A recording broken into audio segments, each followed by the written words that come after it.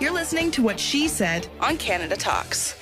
Well, we've been talking about 3D printing for over a year now and how fantastic it is as having lots of potential, lots of creativity. But most of what we've been talking about is sort of hobby stuff. or Experimental. Experimental. Yeah. And we've been waiting for a company that's actually going to turn this into a business. And so that's what's really exciting because today, petprints3d.com is a business that you're going to be able to actually buy a product and have a 3D printed item in your home, but not just anything. It's it's got that emotional connection Yep. to it. We're talking about your pets, and we actually have the founder, uh, Steve Cory, here. Uh, hi, Steve. How are you? Good morning. Pleasure to be here. And I wanted to talk about sort of this unusual process that you've created. So it begins, interesting enough, with people's personal photographs. So I love the fact that people are already involved from the very first step. Is that correct? That's absolutely correct, Kris. And the, the great thing about our, our process is that it's fully customizable. So our goal is to capture what makes your pet special. And oftentimes people have photographs that, uh, that show that. If they don't, it's something that we can create. So you're asking people to go through their photo collections uh, and pick out, I guess, really good images of their particular dog or their particular cat, and then they send them to your website at petprints3d.com. And from there, you're able to extract, if I understand correctly, an accurate computer model representation of this animal. Is that right? Uh, not not 100% correct, Kris. We do create a accurate computer representation of the model, but we do it strictly through artistic work. The photographs are references for our, our incredibly talented artists who then uh, draw the pet in three dimensions.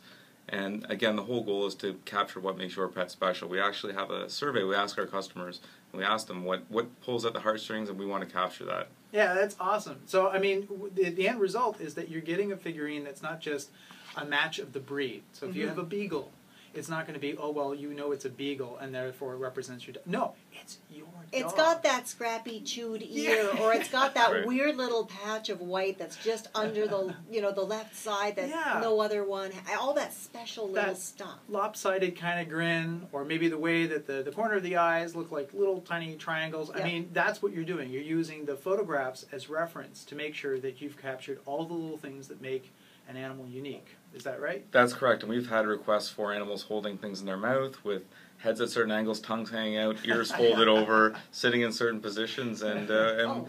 we have the beautiful flexibility to be able to do that. And to create um, sculptures of pets that are long gone. That's correct. Yes. Yeah, that's the kind of a neat thing because you hear people talk about my first my first dog, Right. and if you have those photographs, it's Yeah. doable, right? It is an incredible gift idea, and uh, in fact, we have made models of pets from Polaroids, uh, pets that have, have been long gone, and uh, I can honestly tell you, I've never been in a business that evokes such incredible emotional reactions in people. People tear up uh, constantly. That's it's, it's amazing. amazing. Yeah. And, and the actual, okay, so the 3D printing, if you were to Google 3D printing, most of the objects that you're going to see, they're kind of a plastic red or plasticky yellow or blue. They're, they're great in terms of the shape, but the color is just always monochrome. The first thing that blew me away when I saw your technology was that we are talking about photorealistic. You've got the, you know, everything is in complete color. It's like a photograph that's become real. and that's astonishing because I you, that's not something you see in 3D printing. So you're not doing the same 3D printing most companies are doing. You're doing something very special. Yeah, there is uh, lots of different methods of 3D printing available. Um, typically, what we tend to see in the media is uh, is consumer level home uh, 3D printing, which is one color plastic. We use a full color 3D printing process, industrial process, which um, gives us just amazing flexibility to get great detail, but also full and true lifelike color. And the ones we're seeing here in studio are not plastic.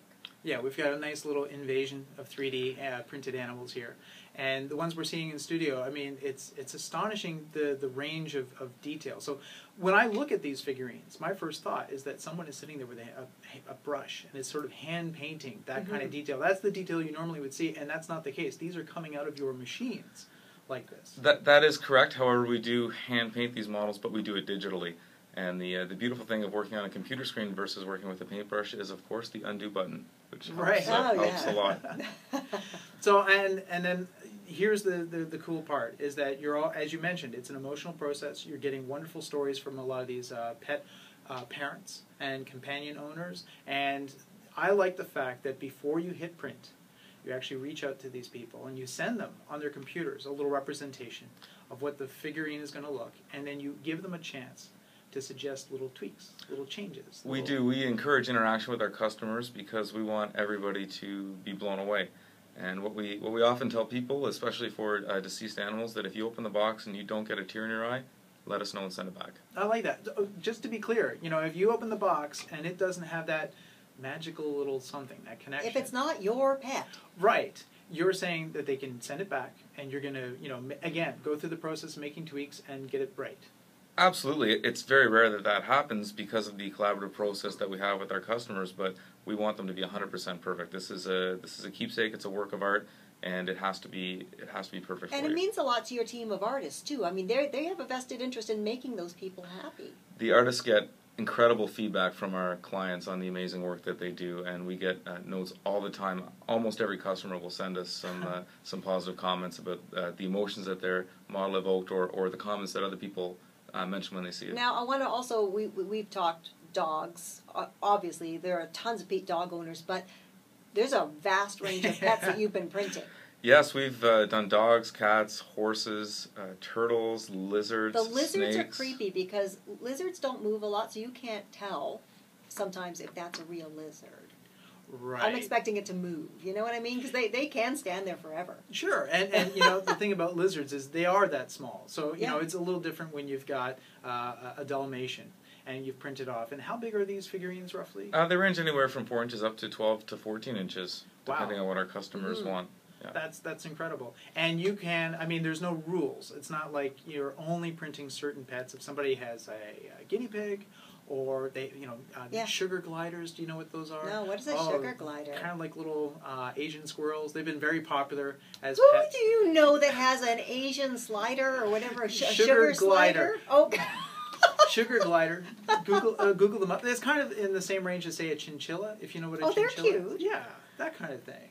So I mean, you're you're fine with somebody sort of saying, "Look, I've got this unique pet. Would you be able to take that on as a challenge?" Of, of course we are. We, we haven't seen a sugar glider uh, at this point yet, but we did uh, recently do a rescue turtle, a turtle that had been run over and kind of Oh. squashed on the shell. So Aw. he survived, and we uh, got some pictures, and we managed to to make a really realistic looking looking model. When you say no rules, Kris, uh, that's exactly right. If you want your dog wearing a hat, a top hat, doing a tap dance, we can absolutely make that happen. Yeah, you were telling me a story because uh, you do cats, of course. That somebody actually had uh, a particular request about the nose of a cat. Yeah, the this uh, this particular animal liked to uh, nose around underneath the uh, the bed of the owner, and the owner specifically requested a, a dusty finish on the model, and like a little dust bunny again. on the end yes, of the nose. exactly. Oh, that's fantastic.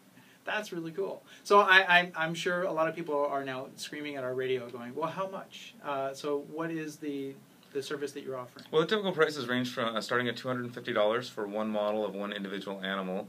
Uh, a lot of our work is in the initial artwork, so once we draw the animal uh, once, we can pose it. So when we sell multiple poses of the same dog, uh, it's five hundred dollars for three, and that's like a four to six inch size. As you get bigger, the price goes up because Of there's a tremendous amount more work that goes into uh, detailing a large model. Right, and that's actually a very good price. I mean, two hundred and fifty dollars starting. Uh, you know, in the collectible figurine market, you think Oh, of yeah. sideshow collectibles, Hot Toys, uh, Phil Tippett Studios. All their stuff is like 300 400 and that's for like mass-produced Spider-Man, Yeah. Batman, that kind of thing. Uh, you think of the cost of going out and having a professional photographer come in and take your portrait. oh yeah, You know, yeah, just the sitting fee Ju- yeah, is two totally. hundred fifty dollars. Like yeah, so that's fantastic. And your packages are kind of creative in that if you spend more, if you buy like three figurines, then you're offering multiple poses, multiple variations. Absolutely, and it's uh, again fully customizable. Whatever whatever your imagination can come up with, we can we can manage to create. I think it's important for your listeners to understand that this is a, a one of a kind work of art. When we make a model of your dog, we're not making that. We're not using that dog for other people's models. Uh, every single one is is fully unique and fully special, and that's that's the real thing that that drives the joy in people. Uh, you know, we are often asked, "Do you have a particular breed?"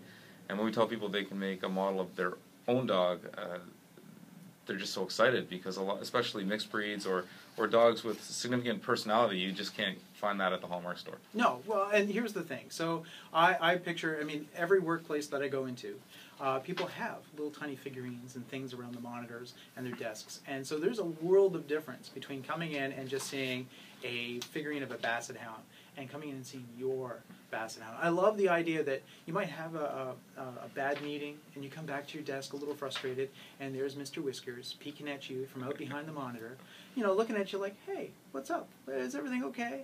Or the fact that you can have your muffin guarded by your golden retriever and making sure nobody else touches your muffin at work. I love that idea. Well, no one should touch your muffin at work. Nobody should touch my muffin at work. Uh, and yeah, and Tiny Tuesday. I mean, we've been tweeting little adventures of some of your figurines online, and I can picture how people are going to take their cat, their dog, and go off and photograph and do these little Mhm. tiny, tiny stories. People I follow on Twitter are already doing that with like Lego and plush animal toys. So it's pretty cool. I, I love the potential for where this is uh, going to go.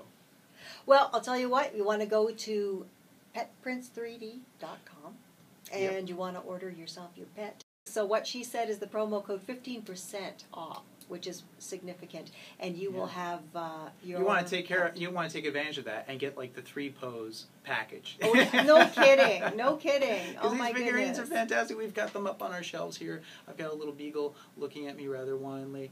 He's kind of cute, uh, and and love the idea that you can take your your childhood companion and bring them back into your lives and send them off and have little adventures and tweet Mhm. about them and photo them. That's going to be fantastic. And we're really excited because this is a new Canadian. Uh, business and it's world leading. I don't know of any other company in the world that's doing this. We're excited to follow you over the next couple of weeks. We're going to check in with you next week and Mhm. try to get the reaction of some people who have done this to see what their experience is. I'm excited for that. Yep, and uh, all of our social media as well. If you follow what she said, one six seven on Twitter and Facebook, you'll see that we've been posting all kinds of wonderful pictures because that will give you that visual you're looking for to see exactly what we're talking about. Yeah, because uh, so here's the thing about your 3D printing that's different from anything else I've seen: the level of expression. Yeah. And that was the first thing when I, I saw your, your studio that you captured. Because I've had myself scanned and printed by other um, you know hobbyists, and you know it's usually a blank face. I'm Yes. looking like I'm a mannequin. And your technology captures the emotional expression of these little tiny animals. It's fantastic. That's it. Thank you so much, Steve. Thank you for having me. Thank you, Steve. It's a pleasure having you on board. Click the channel subscribe button for full length interviews and more from What She Said here on YouTube.